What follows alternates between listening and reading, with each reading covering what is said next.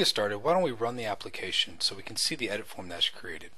And then we'll dive into adding server-side validation along with client-side validation to our application.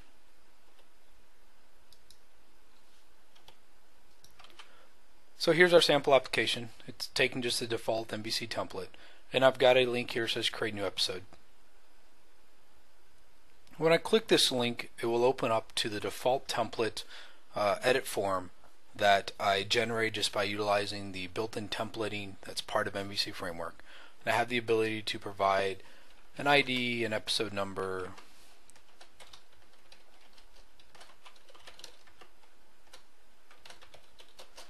and things of that nature. And if I click create, it'll actually go to my controller, won't do anything at this point in time, and redirect me back to my home page. Well, in that scenario here, I want to add in validation that specifies that the ID must you know be provided, the title must be provided, that you know my title doesn't extend uh, exceed 25 characters or 50 characters, something like that. So I want to do this using the MVC framework. So how do I do this? The first thing I need to do is open up my account, my episode view model. My episode model is pretty generic. It just basically has four properties on it.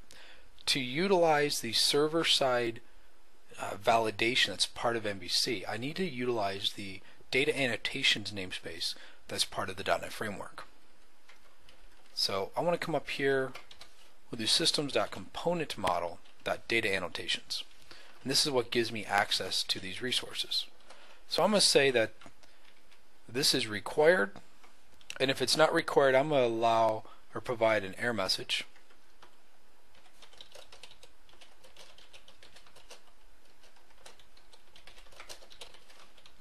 but we're going to actually make title and description required as well because you know hey I want to have good data but on top of also adding these required I want to add in some simple validation so I want to put in that the string length must not exceed 25 characters for this example. And if I do get a string, you know, if I do exceed my length, I want to provide an error message.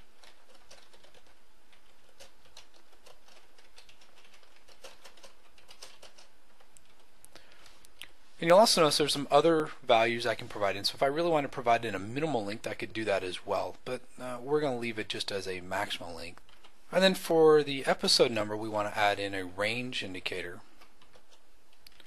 to basically say that the minimum is zero. And we'll just for now put the max at 100 just to, to show how it can work. And we'll provide an error message here.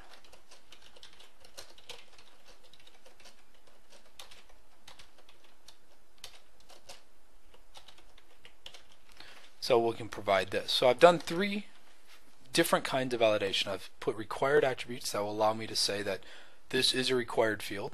I provided a range attribute that says, hey, you need to provide the value and it must be between these values. And I've also provided a length validation, say it's a string, I want it to be at least 0 up to 25 characters long. So how do I actually get this so that when we edit the values in our form and submit them to our controller, that will perform the validation and return me the results to the user. Now the first thing we want to do is come back to our episode controller. Our episode controller, we have the two action results already. We have our get and our post. And right now they don't do anything. But in order to enable server-side validation, all you need to do is provide an if statement. Say if model state is valid. So basically saying if it's not valid, let's go ahead and return to my view. And that's it. I don't need to touch anything on my view. I need, don't need to enable anything on my view. Um, I just need to let it run. So let's go ahead and run our application now and see if I can provide some values and see if I can get my server-side validation to kick in. So our form's loaded. Let's go ahead and go into our edit screen again. Let's provide an episode number that's 999 let's go ahead and provide a title that exceeds my minimal or max of 25 and let's not provide a description. So we should expect to get some validations here.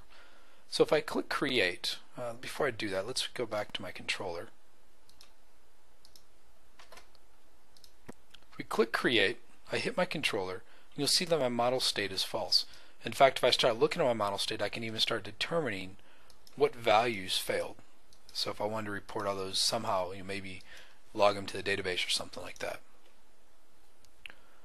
And then when I let it come back, it tells me the episode must be between 0 and 100. My title exceeds 25, and I must provide a description. So if I provided, you know, 1, 1,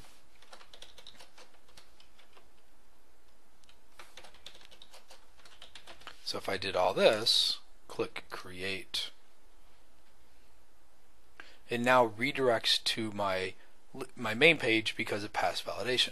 Well, that's pretty cool, but the downside to this is it's only done on the server, which means that I'm going to require the user to make complete round trips, passing my payload back and forth in order to perform some validation. Although this has a lot of merit, I want to actually be able to do this on the client side. So how do I go about adding the ability to perform client-side validation. To do this, what we need to do is go back to our project. I don't need to touch my control and I do not need to make any changes to my model because my annotations can be used on the server side or the client side as well. So what I do need to do is go into my episode page and I need to add in some JavaScript and some custom HTML. So the JavaScript I want to add in, I'm going to provide it in a content area that I have set up and it's going to become my script content. And then what I need to do is reference a few script files. Now these script files I'm about to reference are part of the MVC template, so you'll get these when you set up your project. So if I come into scripts, if I choose Microsoft Ajax and click OK,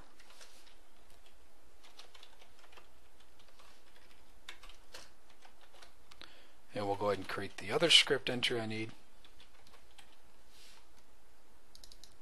And this one I need is a Microsoft MVC validation script. Its type is also JavaScript.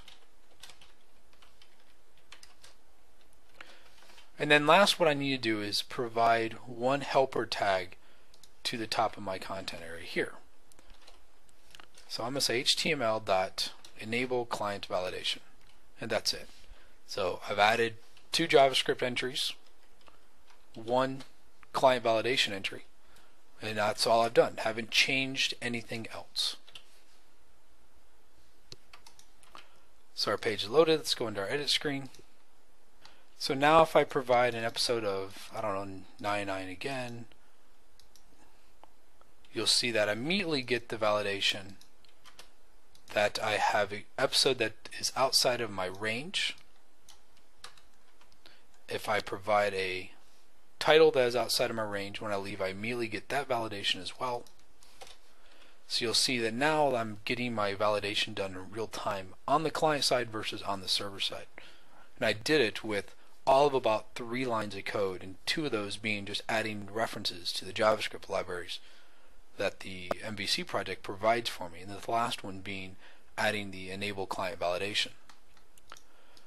So to recap, what we've done here. What have we had to do? I first had to provide the usage of my data annotations, which are part of the system.componentmodel.data annotations namespace. So I added these. I then, in order to get server-side validation, had to add in the model state.isValid check and simply return to the to the original view. And then to get client-side validation, I had to add reference to the following scripts, as well as add in the HTML.enable client validation tag, which will allow me to wire up my data annotations on my model to my validation on the client. So I hope you see this is very simple and very easy, and until next time.